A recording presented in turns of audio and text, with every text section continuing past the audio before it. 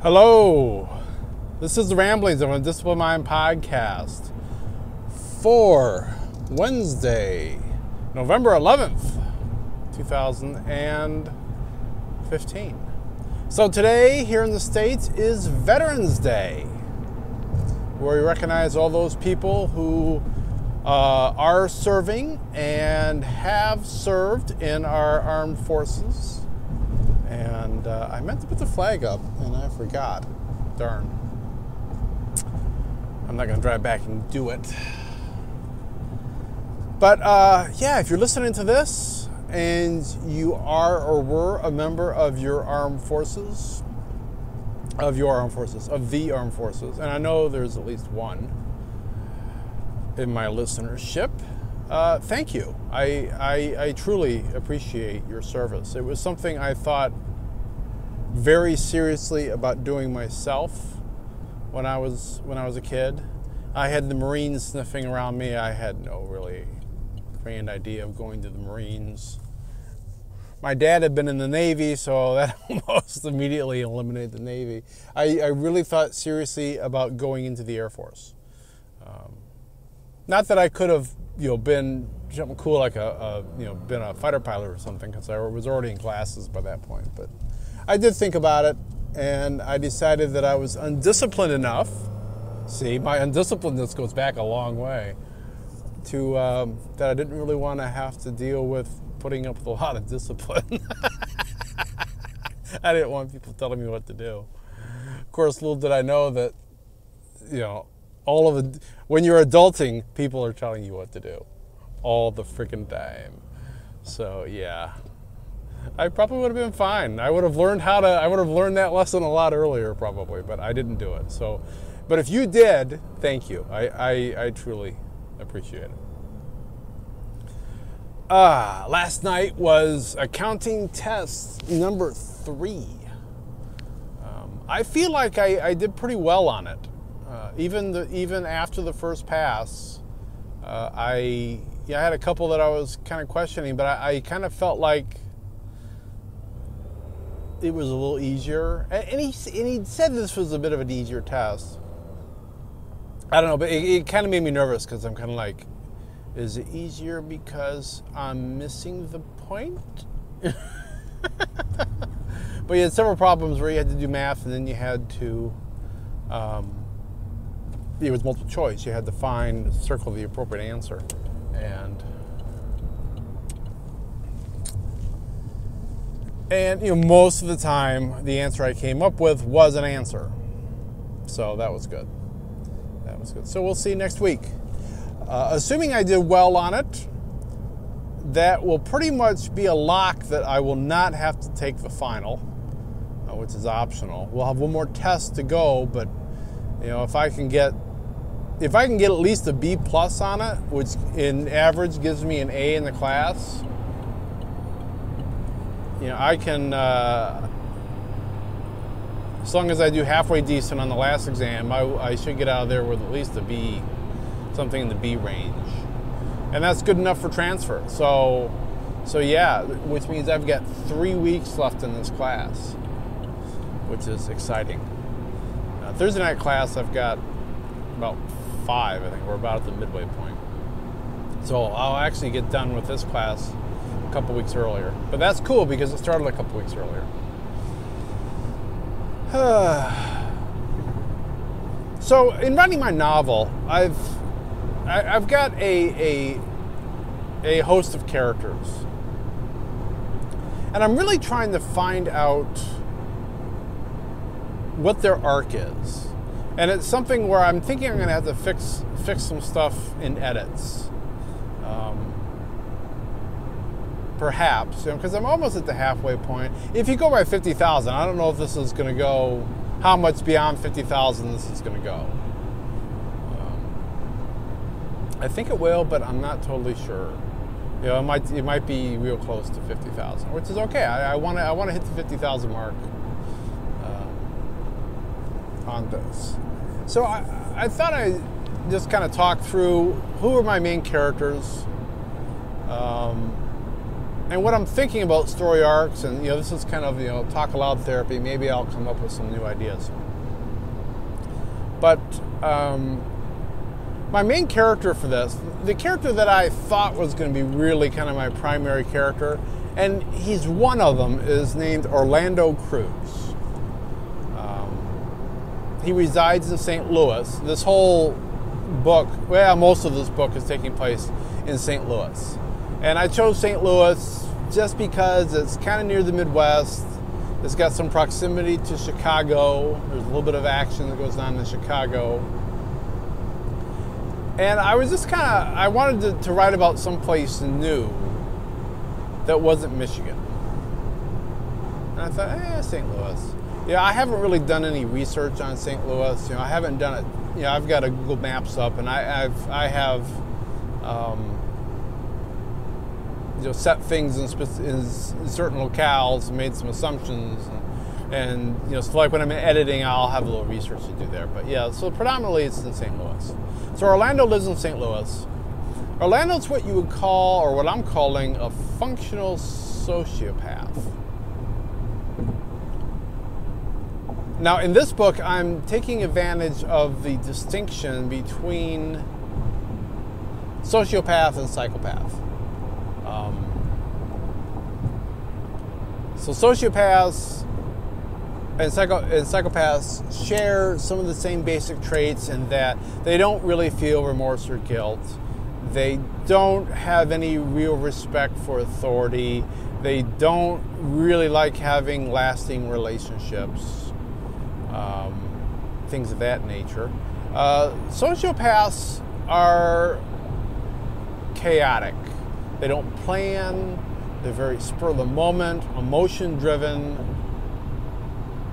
Psychopaths are different in that you know they share those traits that I mentioned at the beginning, but they're also very methodical and they like to plan and they're really good at manipulating people. In fact, they can manipulate a lot of people in into you know the, one of their base manipulations is by hiding as a psychopath. People have been psychopaths that you know we haven't known that they were psychopaths because they're so good at hiding it and manipulating other people. Um,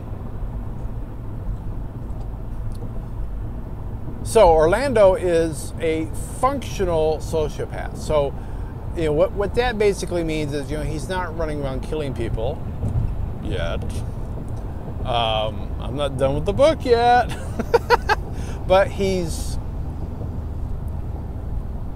you know, he, he, he, likes to be in his own little world. He works as a computer help desk technician from his home, and that's his cocoon, that's his nest, that's his safe place. Um, he doesn't like having to deal with people face to face. He doesn't really like having to deal with people on the phone a whole heck of a lot, especially if you've ever uh, encountered the average intelligence level that tends to call in on computer help desk lines, which is pretty darn low. Um, or at least as far as computer intelligence. I'll I'll I'll, I'll uh, restrict it that way. So um, he gets seduced by this woman who actually happens to be, you know, the pharmacist. His pharmacist at the local CVS, uh, an Indian woman by the name of Magdi I think that's how you pronounce it. It's actually kind of a made up name that, that kind of looks kind of you know looks uh, Indian.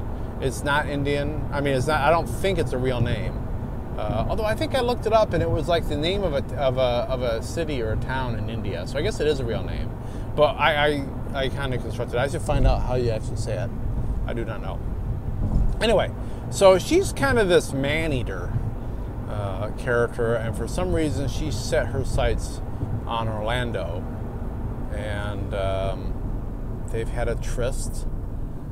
Uh, there's been some PG 13 sex, which basically means it all happened off camera. Uh, we see the beforehand, we see the afterhand. Uh, and he's totally, he, he doesn't know what to do. He's really confused. So I, I, I, I do kind of know the direction he's going, and I'm not going to spoiler it. Um, we've got the, these two police officers who are investigating these. Um, I don't know what we call them. These group murders. You know, the because because the whole thing is is is we've got someplace. I'll talk about.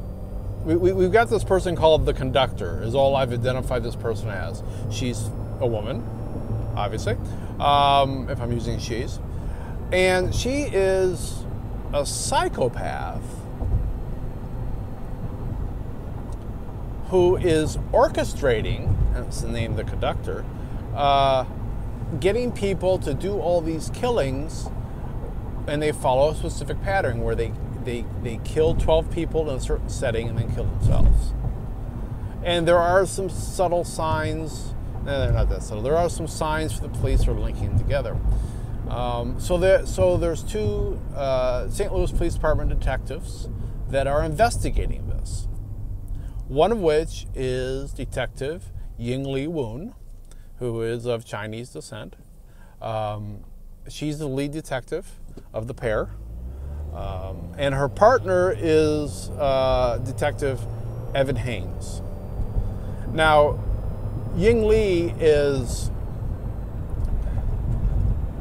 married. She's got a, a, a three-year-old daughter, I think I said, um, and and she's a Christian. Um, I think I established that in that scene I read. So if you listen to that, you know that. Um, she's rather she's got she's had Evan as a partner for five years, but she's kind of has a motherly disgust for him because he's he's the quintessential playboy. He's always got another woman on his on his arm. Um, yeah, Ying Li, I need to figure out. I, I know one change that's going to happen with her, but I, I really need to figure out what my total arc is for her. I'm thinking at some point one of these sets of murders is going to at least threaten her daughter. Um, yeah, I, th- I, think I need to I need to figure out the placement of that. Um, now Evan, I ended up coming up with giving him a bit of a twist. So he's been this guy, and he's you know he's he's he's kind of your your I don't know what, what would be a well, uh, kind of like Gilderoy Lockhart. You know, he's he's not quite as smarmy as Gilderoy, but you know he's got that charm, and he's used to sweeping women off her feet. And there's one point where they're they're talking to a grieving widow at one of these murders, and interviewing her, and she's crying, and you know Evan whips out a tissue for her, and you know, Ying Li wonders to herself, where did that come from? Does he have like a widow seducing kid he carries with him wherever he goes? Um, so he's always on the prowl. He's always on the prowl. Um, and at one crime scene, he meets this crime tech named Terry, who's this woman. She's engaged. Um, she's she's you know I you know she's got like I think Irish descent, short red hair kind of thing. Um, and of course, Evan, Evan, you know, is tracking right on her because it's the first time they met her, and she's pretty attractive, and so he's all over that.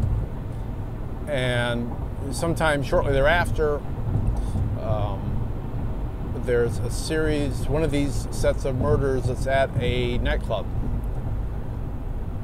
And one of the people that gets killed is Terry who at the time just happens to be dancing with Evan. Uh, and Evan has his, his, his weapon with him and um, and kills the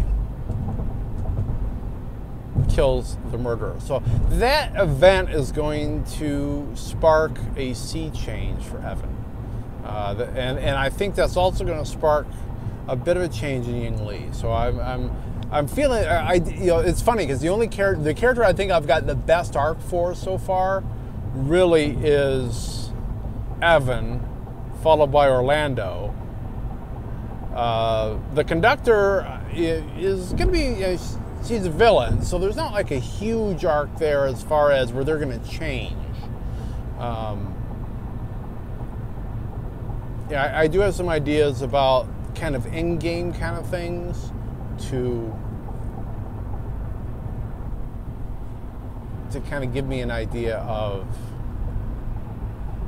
of um, where that character is going to end up.